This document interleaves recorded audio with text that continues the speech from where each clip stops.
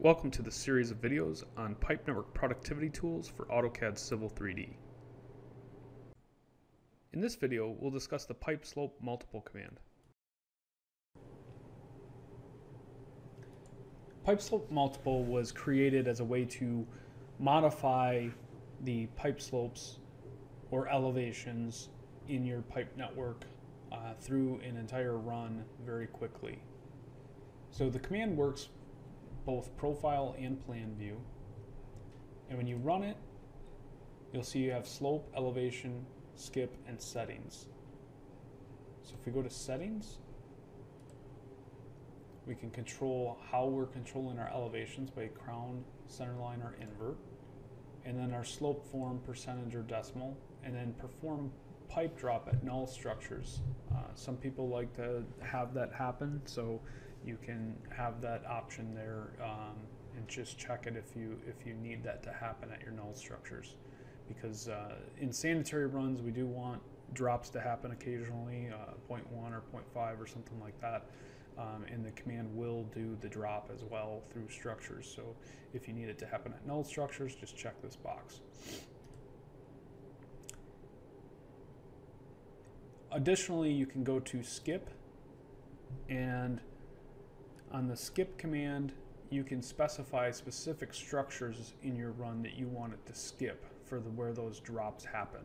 So um, when it prompts you for drops, you can plug in which structures you want it to skip over and it will do that. So for now we're going to run slope and elevations. So let's start by slope and I'm going to pick my downstream structure and I'm going to pick my upstream structure. And it's automatically going to go through and pick the, the shortest distance route from the plan view of the network.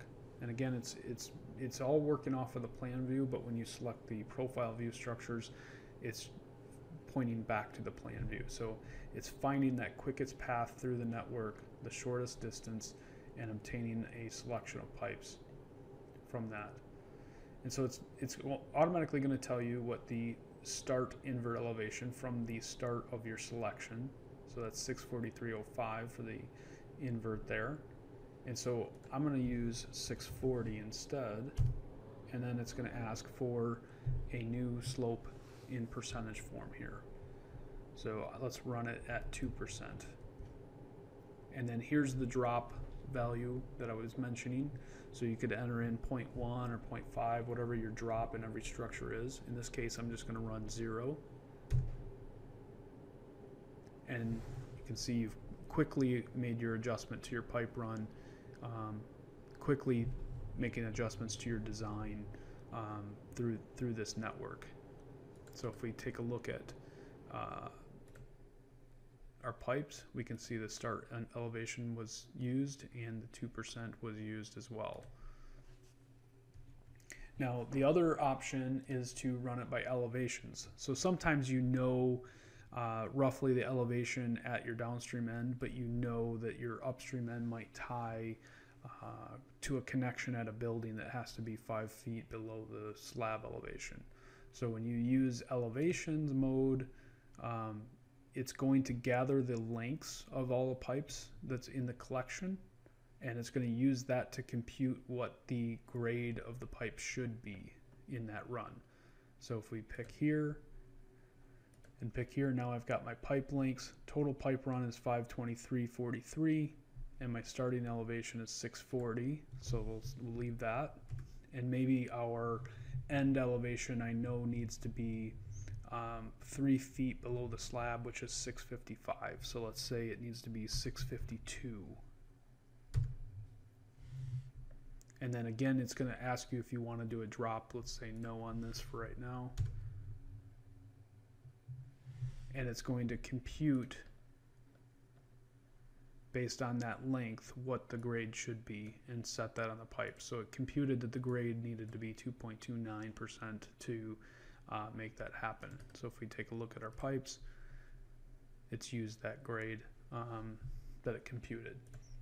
So a great, really fast way to make your pipe adjustments. Now, some of you out there may be, you know, I've seen a lot of questions on this on the forums, and so I'm going to kind of address this here. Is how do you handle when your pipes need to be to the inner wall of the structure? Because I've seen people creating labels with expressions and things like that, and that that's not really necessary um, with Civil 3D because we can adjust our pipes to the inner wall of the structure, and the pipe slope multiple, pipe slope single, all of these tools will work with those um, pipes being at the inner wall of the structure because the way it's done, the pipe is adjusted, the start and end point is adjusted, and the, the length values are actual to the pipe. So if we take a look at our pipe here, you can see it's going to the center of the structure. So if I go to pipe properties, you can see my lengths here 2D length center to center is 150 inside edges is 146 so if I go to my rules I've got a couple of rules in here one for center and one for inner wall if I switch my rule set to inner wall I've set up a rule set that uses the set pipe end location and I set it to the structure inner wall on either end so if I select OK and I apply that rule to that pipe now you can see the pipe got pulled in and it's using the inner wall of each structure on either side. Now the only issue with this is if these pipes or if these structures were swapped out for a larger size, you would have to rerun this rule to obtain the correct um, wall location. And usually in doing that, you need to set it back to center first and then back again to the inner wall to get it to compute. So um, it's a little bit of a of uh, manipulation there, but it does work. So if we set this one to the inner wall and then apply this, you can see that one got adjusted there. So if I go to my pipe properties and take a look at my links, you can see now my 2D center to center is showing as 146 and my 2D length inside edges is also showing 146. So um, it's really an, a, a, great way to get your pipes adjusted to the inner walls of the structure and, af- and having true lengths um, to where the pipes are going to be as, as opposed to having them to the center of structures. So a little bit of manipulation to get that, but just to show you that this command does work with this, we'll run a pipe slope multiple through this, and I'm going to run by slope. We'll pick from this point to this end point. So I've got a mix of both um, ones that are set to the inner wall and ones that are set to the center. And our start elevation, I'm going to use 630 uh, and we'll do it at 1% this time. And then let's do a pipe drop in the structures of 0.5 so you can see for a sanitary situation. So you can see that it went through and if I take a look at this pipe in particular that is set to the inner walls. It's at 1%. It's at the correct elevations. And you know it's using these links in here off the pipe to to to work out the computations. So um, it's setting it to the correct values.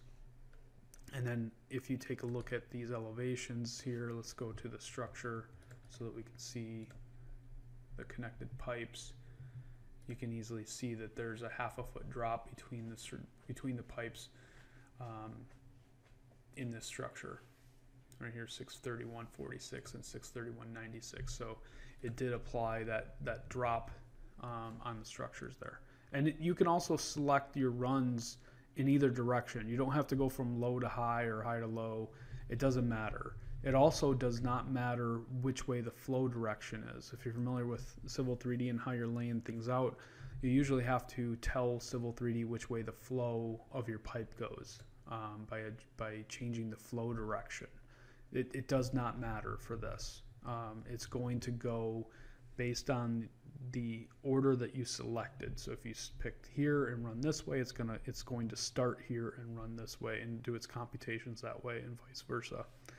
So really great tool for um, quickly changing your pipe slopes and elevations.